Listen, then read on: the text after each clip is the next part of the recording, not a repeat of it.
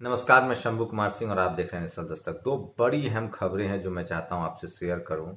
इस देश में ये सम्मान, इस देश के हर जवान, शहीद जवान को मिलना चाहिए, चाहे वो आर्मी में हो, पैरामिलिट्री फोर्सेस में हो, चाहे आईटीबीपी में या पुलिस हो, जो भी जहाँ जिनका मैक्सिमम सेक्रीफाइस होता है, इस देश की ज़िम्मेदारी बनती है कि उनका सम्मान करे। हैदराबाद में सोचिए, तेलंगाना सरकार ने जो सुरेश संतोष बाबू, जो संतोष बाबू शहीद हुए थे, उनको पाँच करोड़ रुपए और सूर्या पेटुकंड और उनकी पत्नी को क्लास वन एस एसडीएम बनाया गया है डिप्टी कलेक्टर। तेलंगाना के मुख्यमंत्री चंद्रशेखर राव सोमवार को शहीद परिवार से मुलाकात की, यही शहीद की पत्नी को ग्रुप वन अधिकारी का नियुक्त पर सौंपते हुए ज़िम्मेदारी दी। संतोष की, संतोषी को हैदराबाद में सात सौ ग्यारह वर्ग ज़मीन का भूखंड और चार करोड़ रुपए का चेक सौंपा शहीद के माता पिता को भी एक करोड़ रुपए दिए गए। मतलब सोचिए, सात सौ ग्यारह वर्ग गज का एक भूखंड ज़मीन का टुकड़ा पाँच करोड़ रुपए नगद और क्लास वन की नौकरी दी है तेलंगाना सरकार ने। क्या ये सुविधा इस देश के हर शहीद को, हर जवान को, हर पुलिस को नहीं मिलनी चाहिए? क्या किसी को ऐतराज है? नहीं, लेकिन कौन लोग हैं जो शहीदों को नहीं देते हैं? कौन लोग हैं जो एक आम नागरिक के इनकाउंटर पर क्लास वन की नौकरी और करोड़ों रुपए घर देते हैं? लेकिन जब जवान शहीद होते हैं तो नहीं देते हैं। क्यों नहीं देते हैं? इसकी बड़ी वजह है कि आज भी चाहे वो पारामिलिट्री फोर्स हो, चाहे आर्मी हो, सबसे ज़्यादा किसान के बेटा जो है वो फौज में है। सबसे ज़्यादा गरीब के बेटे जो है वो फौज में है। और इसलिए मैं कहता हूँ, जो इस देश में किसान है, गरीब है, वो सब S C S T OBC और माइनॉरिटी के लोग हैं। जाट हैं, गुर्जर हैं, पटेल है। इसीलिए जो ये जो ब्राह्मणवादी, जातिवादी, मनुवादी लोग हैं सिस्टम में बैठे हुए ये जवानों को नहीं देना चाहते हैं। और इसीलिए अखिलेश यादव ने एक शानदार ट्वीट किया है, जो मैं इस खबर को उन्होंने आगे बढ़ाया है, और उन्होंने जो ट्वीट किया है, वो मैं आपको दिखा रहा हूँ कि कर्नल कर्नल संतोष बाबू की शहादत को सम्मान देते हुए जिस प्रकार तेलंगाना सीएम ने तत्काल श्रीमती बाबू को डिप्टी कलेक्टर बनाने के साथ उन्हें पाँच करोड़ रुपए की आर्थिक मदद एवं सहायता एवं भूमि दी है, वो सराहनीय है। शहीदों का सम्मान सरकार की सर्वोपरि प्राथमिकता होनी चाहिए। तो क्या आप लोग इसके पक्ष में हैं? इसके खिलाफ कैंपेन चलाइए, ट्वीट कीजिए। और मैं जानता हूँ कि इस देश में जो किसान हैं, जो मजदूर हैं, जो गरीब हैं, उन्हीं के बेटे जो हैं, वो बॉर्डर पर जान देते हैं।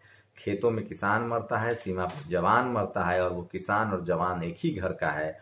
और इसीलिए इस देश में जो जातिवादी, मनुवादी, ब्राह्मणवादी व्यवस्था है, वो श्री संतोष बाबू की तरह तमाम शहीदों को सुविधाएँ नहीं देता है।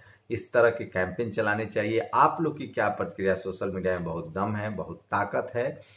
मैं इस कैंपेन को आगे बढ़ाऊँगा कि संतोष बाबू को जिस तरह से पाँच करोड़ रुपए ज़मीन का टुकड़ा, सहायता, क्लास वन की नौकरी मिले देश के हर पुलिस वाले को, हर पैरामिलिट्री फोर्सेस को, हर जवान को ये सुविधा मिलनी चाहिए। आप लोग की क्या राय है?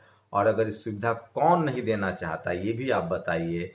और सेना के नाम पर जो लोग राजनीति करते हैं, उनकी जाति पता कीजिए। पता कीजिए जो गाँव गोबर गौमूत्र के नाम पर लोग की हत्याएँ करते हैं, वो जवानों की शहादत पर क्यों चुप रहते हैं? और वो जो सवा, जो जवानों का, की हत्या पर राजनीति करते हैं, वो ये सुविधा क्यों नहीं दे रहे हैं? क्या केंद्र सरकार ये हर जवान को सुविधा नहीं दे सकती है? जो जवान शहीद हुए हैं, इन्होंने बिहारी तक कह दिया था, जवानों को भी मार दिया था। क्या आप लोग चाहते हैं कि जो श्री संतोष बाबू को मिला है, शहीद संतोष बाबू को मिला है, जो तेलंगाना के चीफ मिनिस्टर ने दिया है, वो सुविधा हर जवान को मिलना चाहिए? तो इस वीडियो को घर घर तक पहुंचाइए, हर जवान तक पहुंचाइए। ताकि जवानों को सम्मान, उनके बच्चों की पढ़ाई लिखाई, शानदार ज़िंदगी हो, क्योंकि उन्होंने देश के लिए, हमारे लिए, आपके लिए कुर्बानी दी है। तो मैं चाहता हूँ कि इस देश में इस कैंपेन को चलाया जाए। मैं फिर कह रहा हूँ, इस देश में जानबूझकर जवानों को, किसानों को गरीब रखा जाता है, क्योंकि वो सब बहुजन समाज के लोग हैं, किसान जाति के लोग हैं, जाट हैं, गुर्जर हैं, पटेल हैं, जो शहीद होने वाले लोग हैं, वो किसानों के बेटे हैं। जो जवान जो है, वो किसानों के बेटे हैं, गरीब मजदूर के बेटे हैं, इसलिए उनको ये सुविधा नहीं दी जाती है। तो सरकार से मांग कीजिए कि जो लकीर खींची है तेलंगाना के चीफ मिनिस्टर ने, वो लकीर बड़ी होनी चाहिए और देश भर में हमारे जवानों को, शहीद जवानों को, इससे भी ज़्यादा रिवॉर्ड बड़ी सुविधा मिलनी चाहिए। तभी हम इस देश के जो शहीद जवान हैं, उनके साथ न्याय कर पाएँगे। परिवार के साथ न्याय कर पाएँगे और तभी हम सुरक्षित भी रह पाएँगे। आप लोग की क्या प्रतिक्रिया, अपनी प्रतिक्रिया जोड़ दीजिए। शुक्रिया। नेशनल दस्तक की आपसे गुजारिश है कि अगर इसको बचाना चाहते हैं तो नेशनल दस्तक को सब्सक्राइब करने के लिए रेड कलर के सब्सक्राइब बटन को दबाएँ, फिर बेल आइकन की घंटी दबाएँ। नेशनल दस्तक को बचाने के लिए बहुत ज़रूरी है कि हर खबर को शेयर करें, लाइक करें, कमेंट ज़रूर करें।